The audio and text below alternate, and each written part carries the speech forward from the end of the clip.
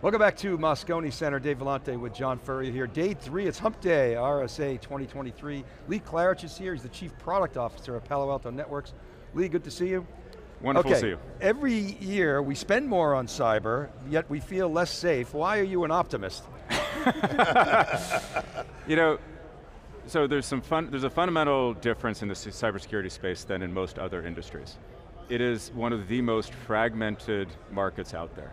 And the net result of that is every company keeps buying more and more and more standalone point products and finding them, so which results in the spending more money part, but the net result of that is not better security.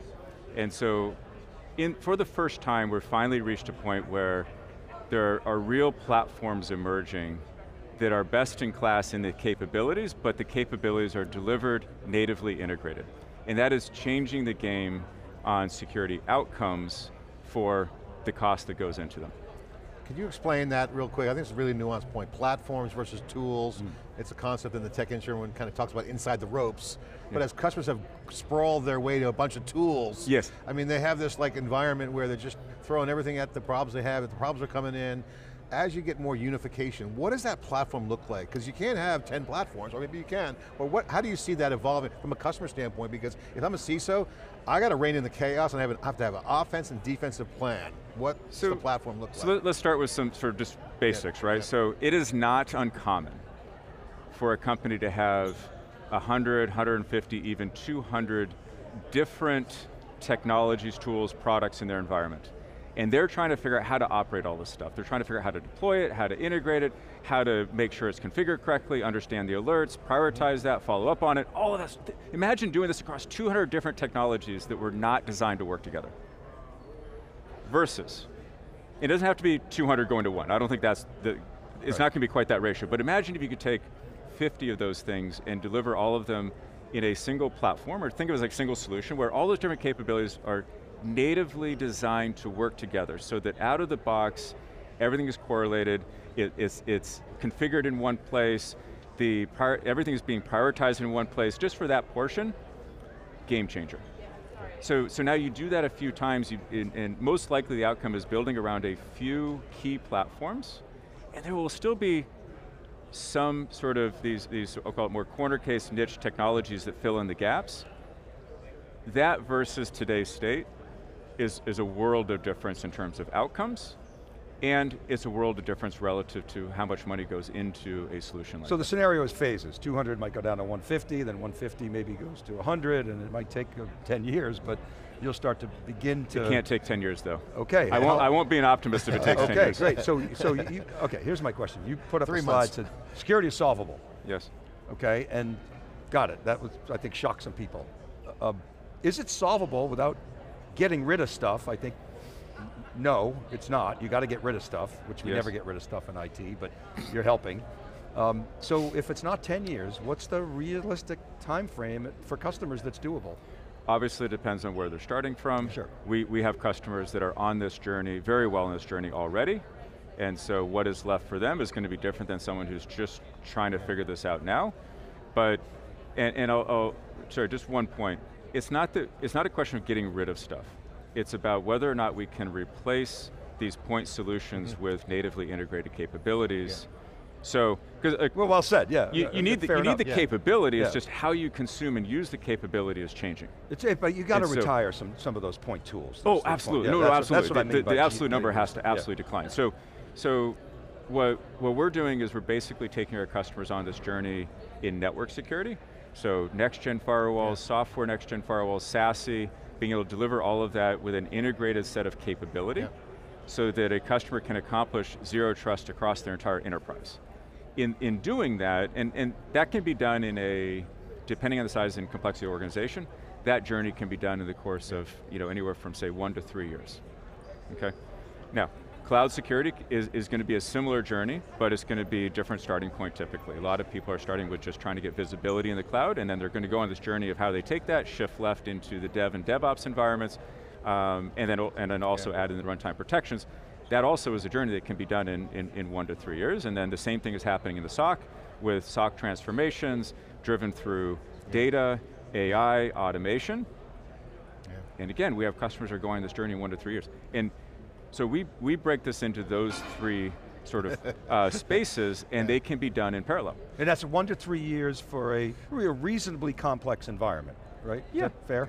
I think so. Yeah. You have the hardest job, I think. Well, maybe the most, the most fun job. You're the chief product officer. You have the keys to the kingdom. You got engineering, you got customers, you got to put the roadmaps together. I mean, those are structural things. You talk about cloud is different than, say, some of the on-premise activity, then you got network security. That's a lot, huge structural underpinnings that are happening. Yes. What does native integration mean? And it implies developers. So, you know, as developers are building now apps on top of a platform, um, that's the new enablement equation. So as a product leader, how do you prioritize, how do you look at that, and, and, and, and you got, you know, change the airplane engine out at 30,000 feet, at the same time try to innovate something um, game changing on a, an enablement side on the platform yes. for the customer. What's the product thinking? How do you operate that? Just take us through your mindset on how you look at that, because customers want faster, but they yes. don't want to unplug anything. They want to yes. still defend and do their so, things. So, so the first thing we did is when we, when we started to execute this sort of broader strategy about, say, five, six years ago was we we looked at it in these three uh, spaces. Yeah. Network security is a huge space in and of itself. And so I have an organization in network security focuses on that.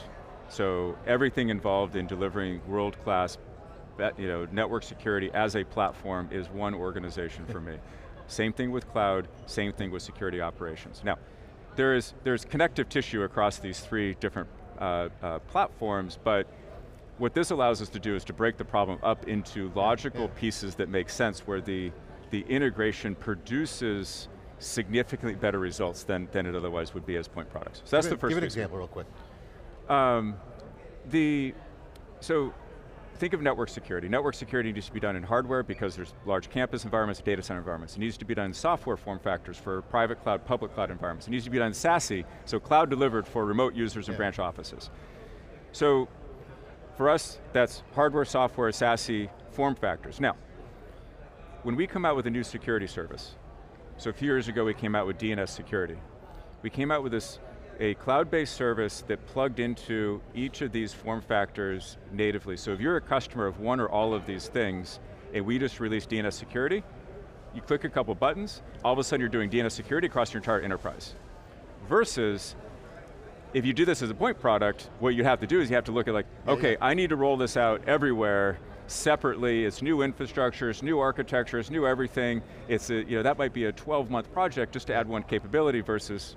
I really wanted to get that out because that's a platform, that's the benefit yes. of the platform. Yes. I can do it over here, I can do it everywhere, yes. depending upon how that plugs into on top of. Yes, now we take telemetry we're learning from providing DNS security and now we can start to inform how we detect new malware, how we detect new phishing sites, and vice versa. Detecting new malware can inform our DNS security and make that smarter. so now we start to get integration benefit across the different security services. Are, are, the core principles the same across those sort of three platforms, or are there sort of significant nuances or differences? Like take cloud, for example. There, a lot of the core principles are the same. Uh -huh. How we do it is very different. How you do security in public cloud infrastructure is very like there's some fundamental differences between enterprise, but a lot of the principles are actually the same. For example, the reason there's so many point products in cybersecurity is because security is so important. Yeah. Like, is, like people are not buying. And it's lucrative if you're a startup. You can come out with a product and make some money and yeah, sell no, it. Yeah, you know, but, but think from, from, there's a problem. Oh, from, a customer, from okay. a customer perspective. Yeah, from a customer perspective, cybersecurity is super important. They want to have the best. So they go out and they look for the best. Yep. So the first principle is everything we do has to be best in class on its own.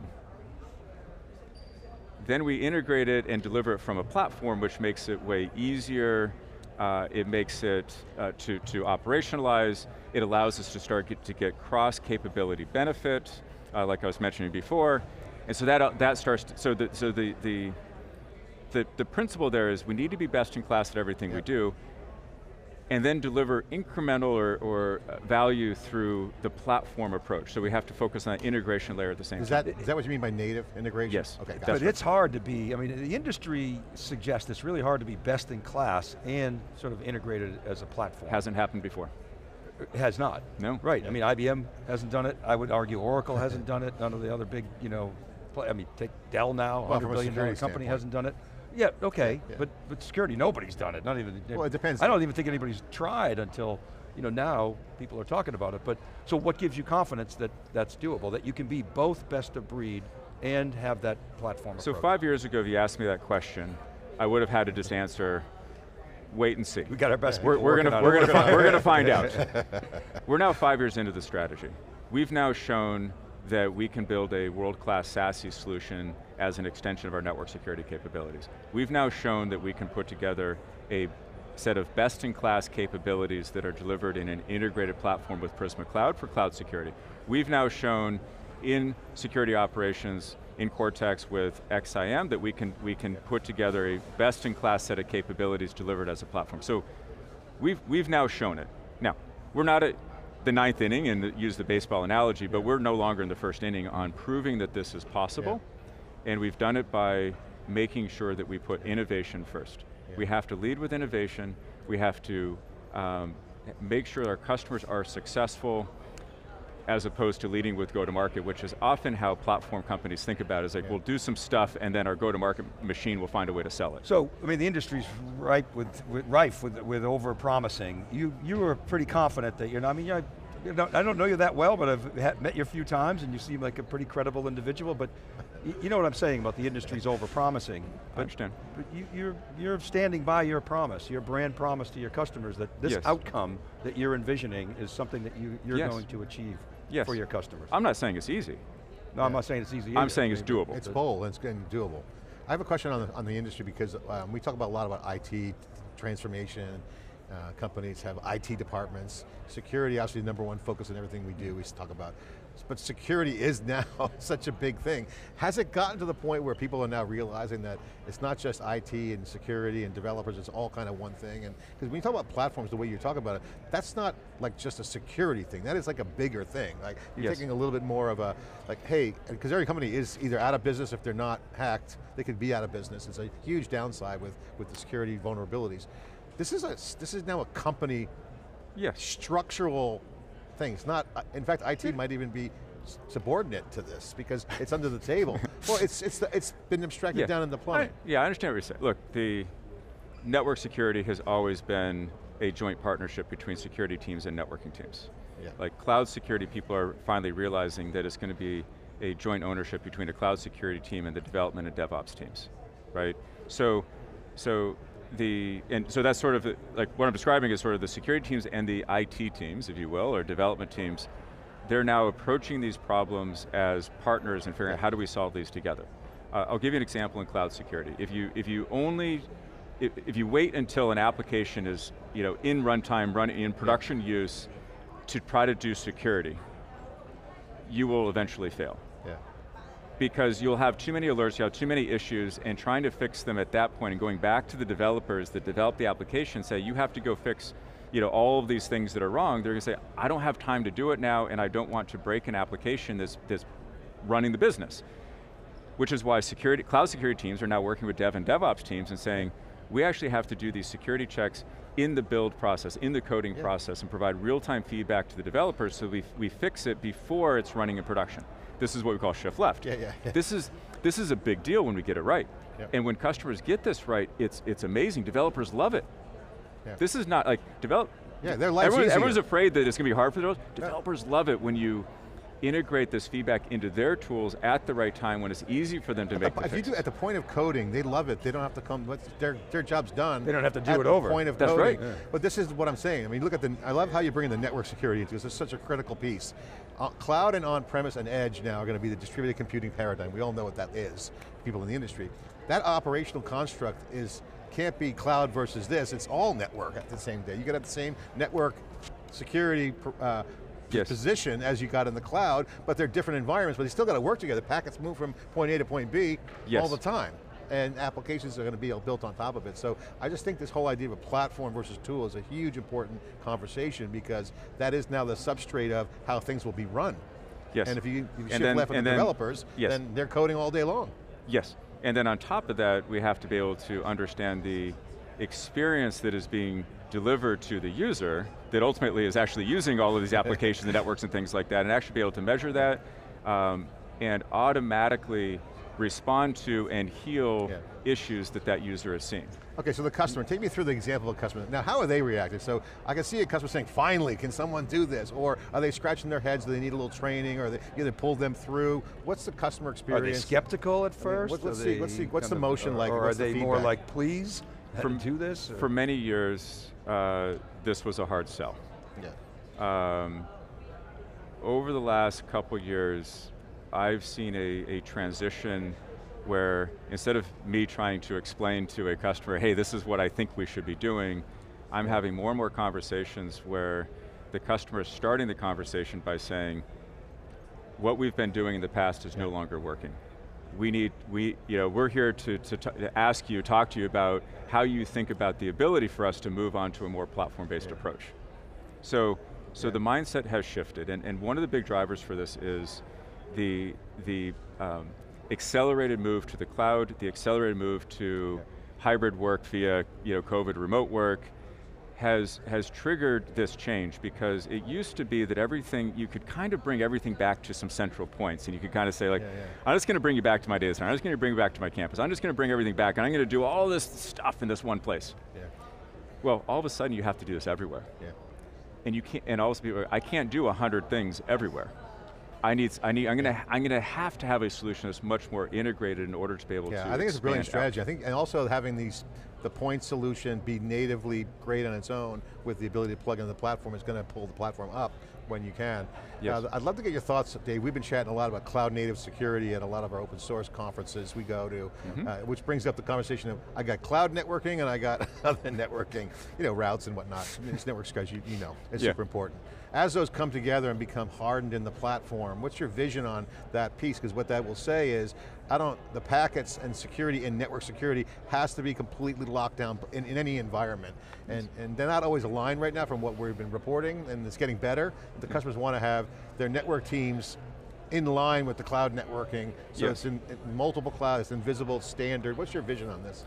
So, so sort of yes to both. You're sort of saying either or, but I'm, I'm going to say yes. So, the network teams are still the sort of the experts on how networking works, how networking works in the enterprise space is different than how networking works in the cloud.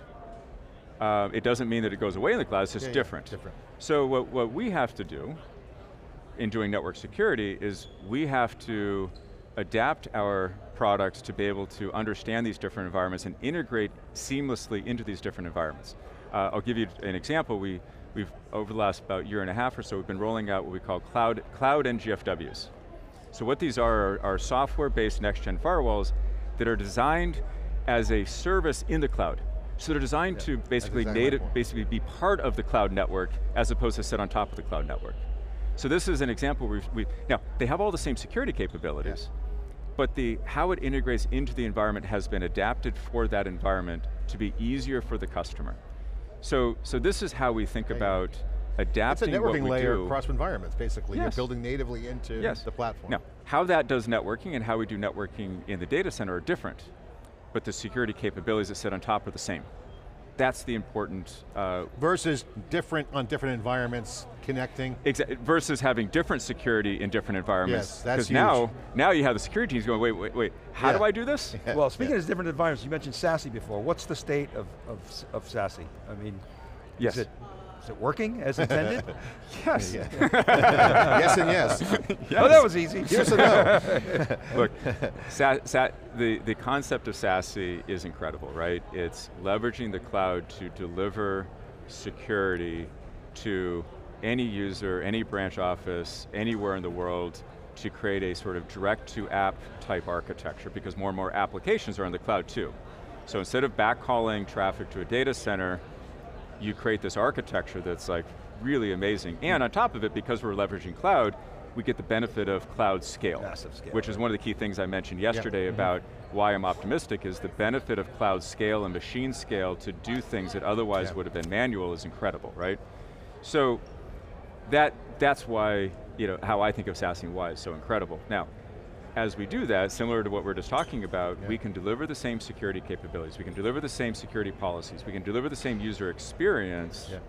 regardless of where they're located, which when you think about hybrid cloud, you might be working from anywhere on any day and you want the same experience. You want to be productive as an employee regardless of where you are.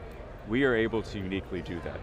And so that, that network security platform that goes across these different yeah. form factors is what enables us to deliver that and that is what is resonating with our customers. When they start to then say, okay, I have to do all of this, by the way, I need to do zero trust, and zero trust is an enterprise-wide yeah. concept, not just a use case-based concept. Now all of a sudden they go, how am I going to do that? Well, you do it by having a consistent platform everywhere. It's so funny, Dave, we always talk on the cube, we got to re-platform and refactor.